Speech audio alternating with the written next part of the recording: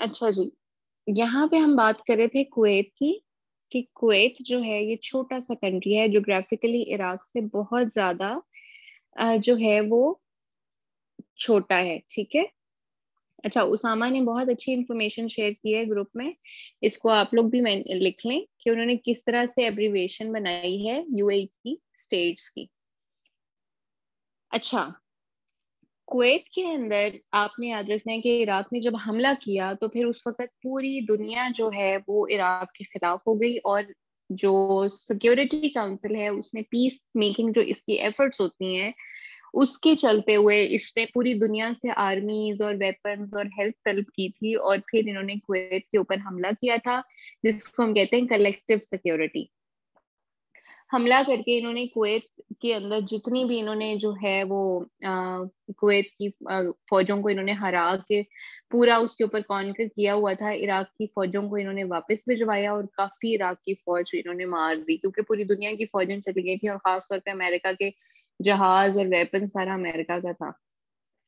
तो फिर कुवैत की सोवरेनिटी को रिस्टोर किया गया था और सदाम हुसैन जो था, उसके बाद जो है वो डिक्लेयर हो गया था कि इसको जब भी मिलेगा तो मार देंगे। फिर बहुत अरसा सदाम हुसैन जो है वो फरार रहा था और 2005 में पकड़ा गया था, छह में इसको फांसी हो गई थी। अच्छा इराक जो है, उसका कैपिटल है बगदाद। ये इराक है, इसका कैपिटल है बगदाद और मेरे से इंटरव्यू में इराक का कैपिटल पूछा गया था। कि इराक का जो मेरा साइकोलॉजिकल इंटरव्यू था, उसमें पूछा गया था कि इराक का कैपिटल क्या है तो आपको पता होना चाहिए कि बगदाद है। उसके बाद अगर आप देखेंगे सऊदी अरेबिया की टॉप पे यहाँ पे ना दो कंट्रीज़ हैं। ये है हमारे पास पेलेस्टीनियन लैंड जिसके ऊपर इसराइली ऑक्यूपेशन है। और आपको इनकी स्टोरी का बहुत अच्छे से पता होना है। अगर आप लोगों में से कोई भी कम्पेटिटिव एग्ज़ाम देने लगा है, आगे पीएमएस देने लगा है सीएसएस देने लगा है, या कोई भी किस्म का एग्ज़ाम देने लगा है तो उसको चाहिए कि यूट्यूब के ऊपर जाए या फिर कहीं पे भी जाके इसराइल और पैलेस्टाइन की सारी स्टोरी पढ़ ले। क्योंकि उसको पता होना चाहिए कि इसराइली ऑक्यूपेशन क्यों हुई थी और कैसे हुई थी। एक रफ सा आइडिया मैं आपको बता देती हूँ कि इसराइल जो है, इसको, इसके ऊपर कब्जा जो है वो जियूज का है। जियूज कैसे कि आपको पता है कि जियूज जो है वो दुनिया की सबसे जहीन तरीन कौम थे। इनके पास सब कुछ था। They had a lot of money जो यूएस के अंदर पेंटागॉन है उसके अंदर जितनी इनके पास दिमाग वाले लोग हैं या जिन जितनी उनकी क्रीम है that is all seven families of Jews Jews के पास सब कुछ था लेकिन अपनी टेरिटरी नहीं थी। तो जब वर्ल्ड वॉर वन हुई 1914 में तो उसके बाद सारा यू, यूरोप जो है वो वॉर में लग गया और अमेरिका ने वॉर में पार्टिसिपेट नहीं किया। जब इतनी वॉर हो गई तो दो, 1917 तक जर्मनी तकरीबन जीत चुका था। यूके और इन बाकी कंट्रीज़ के पास पैसे खत्म हो गए। तो 1917 में यूके ने हेल्प सीखी जीयूस से। उसने इनको कहा कि आप हमें पैसे प्रोवाइड करें we need money to win the war against Germany Jews ने कहा कि हम आपको पैसे देंगे। इस अकॉर्ड को या ये जो ट्रीटी हुई थी उसको कहते हैं बेलफोर डेक्लेरेशन बेलफोर ट्रीटी या बेलफोर अकॉर्ड कहते हैं। इसके अंदर 1917 में यूके को उन्होंने कहा कि आप कॉलोनियल पावर है। आपकी कॉलोनीज हैं।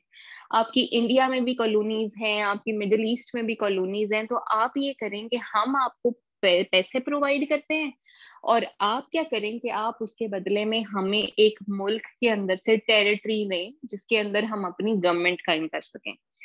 बेलफोर डेक्लेरेशन 1917 में यूके ने इन लोगों से ये वादा कर लिया कि आप हमें पैसे दो और हम आपको टेरिटरी देंगे, क्योंकि हम कॉलोनियल पावर हैं।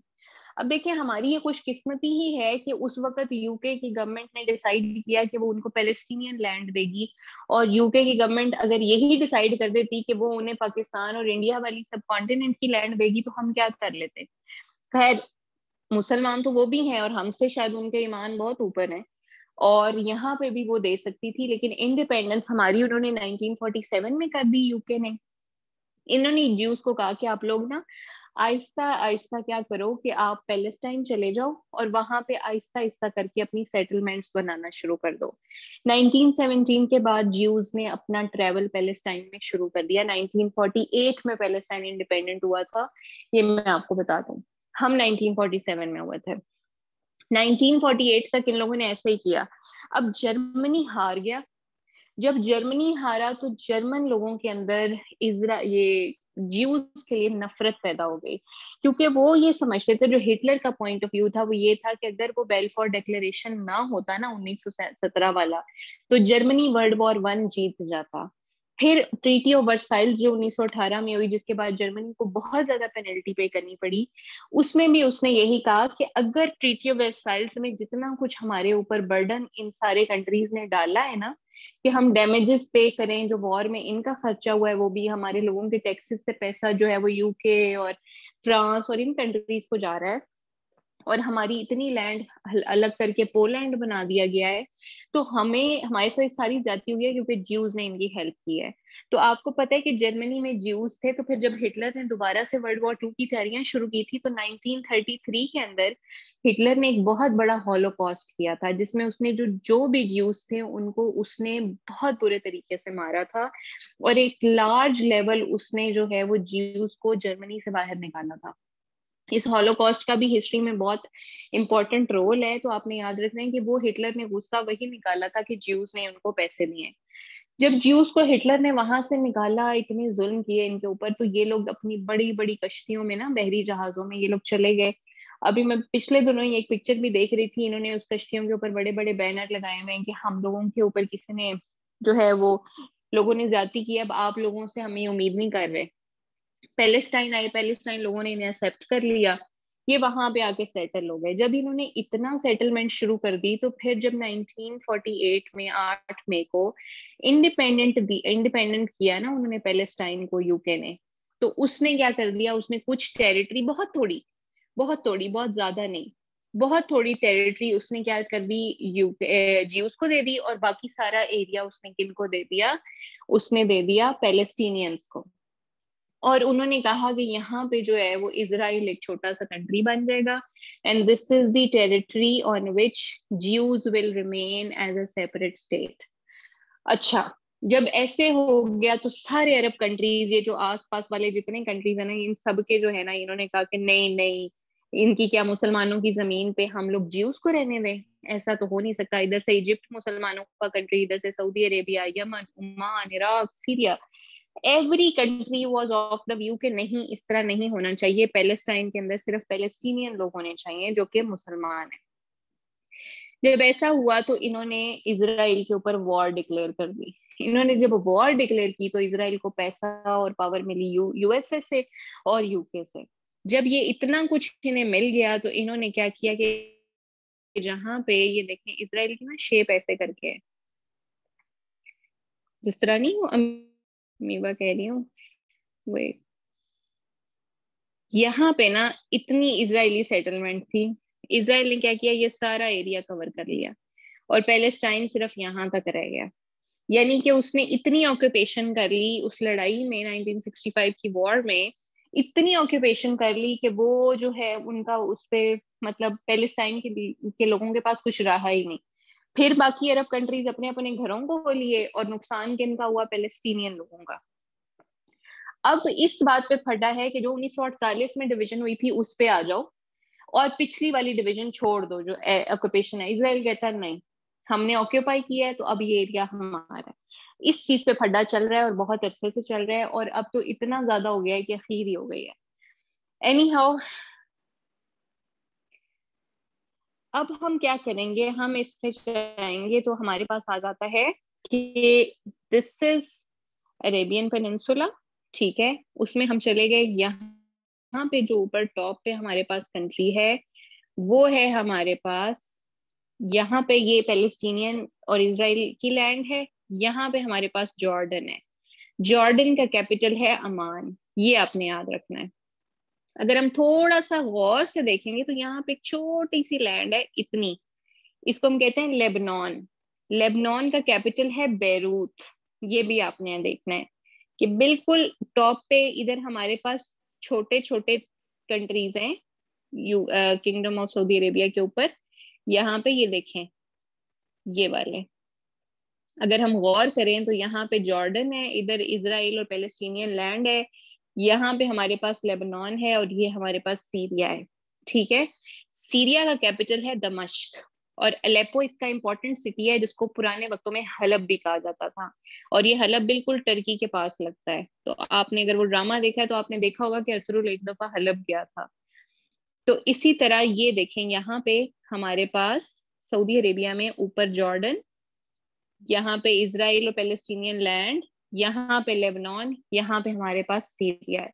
अब लेबनान का कैपिटल है बैरूत और जॉर्डन का कैपिटल है अमान और सीरिया का कैपिटल है दमश्क।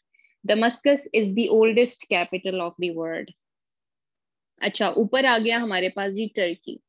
टर्की के बिल्कुल साथ है हमारे पास यहाँ पे अगर आप देखेंगे तो जॉर्जिया। जॉर्जिया का कैपिटल है टी बिलिसी। और जॉर्जिया के बिल्कुल साथ हमारे पास है आजरबाईजान यहाँ पे ना अपनी इन तीनों को इकट्ठा करके याद करना है। एक ट्राइंगल बना लें, ठीक है, इस जगह पे। और इस ट्राइंगल में आप याद रखें जॉर्जिया अर्मेनिया एंड आजरबाईजान इन तीन को आप इकट्ठा करके याद करें। क्योंकि जॉर्जिया का जब भी ज़िक्र होता है तो हम अर्मेनिया का भी साथ ही ज़िक्र करते हैं। तो आप जॉर्जिया अर्मेनिया एंड आजरबाईजान को इकट्ठा याद कर लें। दिस इज़ जॉर्जिया टीबेलिस का कैपिटल है अर्मेनिया का कैपिटल है एंड आजरबाईजान का कैपिटल है बाकू ये हमारे पास तीन कंट्रीज़ हैं और फिर हम आ जाते हैं नीचे। अगर हम इसको गौर से देखें तो यहाँ पे हमारे पास जो नीचे कंट्री है, ये देखें, ये हमारे पास, ये बहुत ध्यान से देखना है आपने। ये सऊदी अरेबिया है, ये इराक है और ये ईरान है। ऐसे लग रहा है ना कि फेफड़े हैं दो। ये दो फेफड़े हैं। अब ये देखिए this is the Sunni country this is Shia country Iran और सऊदी अरेबिया की राइवलरी बहुत ज़्यादा है। बहुत ज़्यादा राइवलरी है, ये भी आपने याद रखना है। ईरान पाकिस्तान का नेबरिंग कंट्री भी है तो याद रखें कि ईरान और इराक के दरमियान जो ईरान और सऊदी अरेबिया के दरमियान में हमारे पास इराक है, जो कि इनके दरमियान सैंडविच हुआ हुआ है। ईरान का कैपिटल है तेहरान। आज के लिए हम लोग सिर्फ़ यही मिडल ईस्ट करेंगे। इस मिडल ईस्ट को आप पढ़ें। मैं आपको ये रिकमेंड करूँगी कि आप मिडल ईस्ट करने के साथ साथ आप मिडिल ईस्ट में जो कंट्रीज़ हैं, इनके आपस में जो रिलेशन हैं, उनको भी कुछ पढ़े ताकि आपको एक रफ सा आइडिया हो जाए और अपने नोट्स बना लें। इस मिडिल ईस्ट में सबसे पहला इशू है मिडिल ईस्ट क्राइसिस इसको गूगल करें तो आपको मिडिल ईस्टर्न कंट्रीज़ के आपस में जितने फटे हैं, वो सारे समझ आ जाएँगे। सऊदी अरेबिया और इराक ईरान का इशू है बहुत बड़ा। इसी तरह सऊदी अरेबिया और यमन का इशू है बहुत बड़ा। इसराइल एंड पैलेस्टाइन का इशू है बहुत बड़ा। सीरिया का बहुत बड़ा इशू है। ये जो कंट्रीज़ के इश्यूज़ हैं, इनके ऊपर एक रफ सा अपने नोट्स बनाएँ और इनको बैठ के लिखें और इस पूरे मिडिल ईस्ट को आप अच्छे से प्रिपेयर करें, इनके कैपिटल समेत और इसको इस तरह से ड्रॉ करें कि आपके फिंगर टिप्स पे आ जाए ये चीज़। तो ये आपको बहुत फ़ायदा देगी। ये चीज़ एक दफ़ा आप ये मिडिल ईस्ट को अच्छे तरीके से पढ़ लेंगे तो पूरी ज़िंदगी आपके लिए आसानी होगी किसी भी किस्म के इशू को पढ़ने के लिए। तो इसको आप अच्छे से करें, इसलिए मैं ज़्यादा आपको नहीं पढ़ाऊँगी। हमारी परसों जो क्लास है, उसमें हम एशिया जो रिमेनिंग है, उसको कंप्लीट करेंगे और उससे अगली क्लास में हमारा फ़िज़िकल मैप स्टार्ट हो जाएगा, जिसमें हम फिजिकली पहले ऑस्ट्रेलिया को पढ़ेंगे और साथ उसका फ़िज़िकल मैप भी उसी क्लास में पढ़ लेंगे। इसी तरह फिर हम बारी बारी इनके फ़िज़िकल मैप्स को जो है, वो कवर करेंगे और हमारे जो फ़िज़िकल फीचर्स हैं, उनको हम पढ़ना शुरू करेंगे।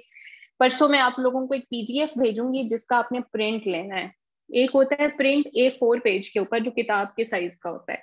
लेकिन एक होता है पेज ए थ्री पेज उसमें, उस पीडीएफ के हर पेज को आपने ए थ्री पेज जो जरा साइज़ में बड़ा होता है, उसको आपने लेना है और प्रिंट कराना है और ट्वेल्व कलर्स के ना मार्कर्स होते हैं, वो एक पैकेट मिलता है जिसमें बारह रंग के मार्कर्स होते हैं, वो आप लोगों ने लेके रखने हैं। तो इनशाला नेक्स्ट क्लास में मुलाकात होती है। अभी तक कोई क्वेश्चन है तो पूछ ले, नहीं तो फिर आप लीव कर देंगे। ये यमन का कैपिटल सना है ये दान कब से? दान।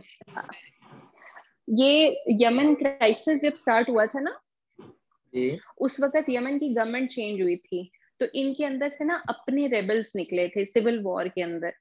इनके जो सिविल वॉर के अंदर रेबल्स निकले थे उन लोगों ने क्या किया था? इसका कैपिटल चेंज करके उन लोगों ने अपना हेडक्वार्टर सना में शिफ्ट कर दिया हुआ है। इसको क्राइसिस को पढ़ेंगे ना आप तो आपको पता चल जाएगा कि इसका दान क्यों शिफ्ट हुआ है कैपिटल हाँ जी हाउतीज ने मैम आपने ये कहा था कि इसराइल जो है मैप हाँ में ये जो ऑक्सफोर्ड ऑक्सफोर्ड एटलस है इसमें इसराइल को शो किया है फलस्तीन को नहीं किया होगा हालाँकि ये तो यूएन की रेजोल्यूशन है ना कि जिसमें इनको टू स्टेट्स का जो है वो दिया हुआ है। लेकिन उन्होंने इ- पैलेस्टीनियन इजराइल लैंड को हाँ अब अगर आप ध्यान से देखेंगे ना मैप को मैं आपके साथ एक पिक्चर शेयर करती हूँ। जो इसमें पैलेस्टीन वाली लैंड है ना वो हम्म, उसी तरह शो हुई हुई है जिस तरह पाकिस्तान और इंडिया के दरमियान कश्मीर वाली लाइन है। यानी जो डिस्प्यूटेड एरियाज़ होते हैं ना उनको ये लोग डॉट्स के साथ शो करते हैं। तो इन्होंने पैलेस्टीनियन लैंड को जो है ना वो इस अगर हम मैप को गौर से देखेंगे ना तो पैलेस्टीनियन लैंड को इन्होंने डॉट्स के साथ शो किया हुआ है which is a disputed territory इन्होंने उसको प्रॉपर कंट्री के हिसाब से शो नहीं किया हुआ। सो so, ये ऑक्सफोर्ड के अंदर इन्होंने इसराइल को ही शो किया हुआ है। देखिए ना वैसे तो आप टेक्निकली तो इन्हें नहीं करना चाहिए लेकिन उन्होंने उसी तरह किया है जिस तरह जो मेजर स्टेट्स हैं वो चाहती हैं। तो इसलिए मैंने आपको ये चीज़ मेंशन की थी।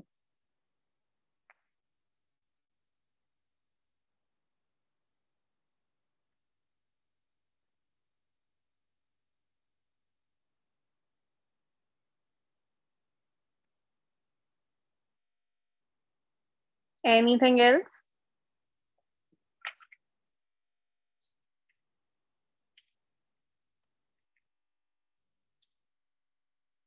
आप लोग आज गूगल करके ना, जो इसराइल और पैलेस्टाइन का इशू है ना, इसको बहुत अच्छे से पढ़ लें।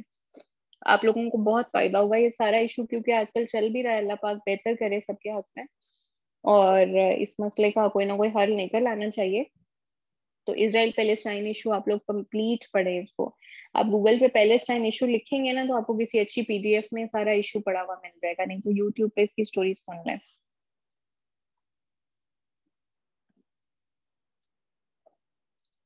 चलें, ठीक है जी। परसों आपने टेस्ट के लिए प्रिपेयर रहना है। इनशाला परसों जो है वो हम टेस्ट भी लेंगे और रिमेनिंग एशिया को भी कवर करेंगे। Best of luck